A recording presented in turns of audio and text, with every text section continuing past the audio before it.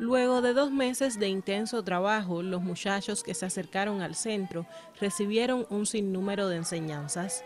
Algunos refieren llegar de forma casual y otros por vocación, pero lo cierto es que lo aprendido quedó con ellos. Ese taller, el teatro en sí me ha dado mucho, mucho conocimiento porque eh, me abrió totalmente la vista que yo tenía de todo y creo que es un espacio que realmente sirve para muchas cosas, tanto como para la vida, como para el profesionalismo de, las personas.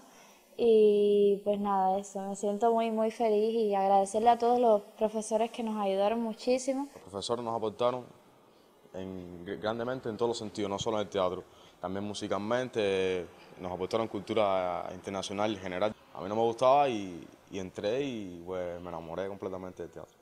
La obra Pecados Capitales fue el ejercicio que coronó las clases de la etapa estival, pero como premio mayor queda el ingreso a la Escuela Profesional de Arte de Villa Clara en esta especialidad. Las asignaturas que damos eh, son basadas principalmente para las pruebas, específicamente para las pruebas que hacen cuando, cuando te presentan. Eh, las pruebas son bastante rigurosas y nos preparamos muchísimo, entramos entramos en un grupo bastante grande y ahí hicimos muchísimos amigos.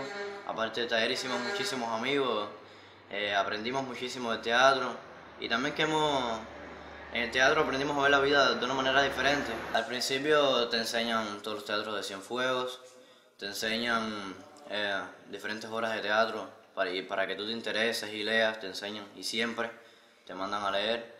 Eh, dan voz y dicción, dan actuación, se, te enseñan bastante historia del teatro también, em, un poco de acrobacia y, hacen mucho ejercicio de imaginación, eh, se comparte mucho y, y aprende, se aprende bastante.